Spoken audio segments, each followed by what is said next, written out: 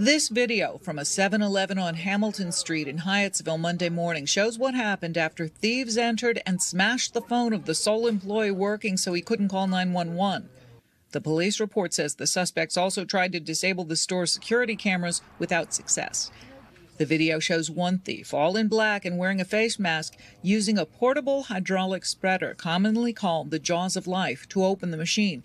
He struggles with the device for a few minutes, trying to get to the money before another suspect wearing a white hoodie comes in to assist. They eventually succeed, then flee with the money. Police won't say how much. What we do know is that the um, ATM was pried open with, with a hydraulic spreader, or what you would refer to as like the jaws of life.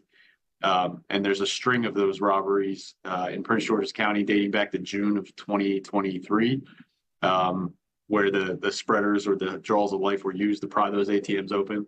So we are working in partnership with Prince George's County Police um, and other uh, agencies on that string. On January 5th, a burglary was reported at the DC Fire Academy in southwest Washington.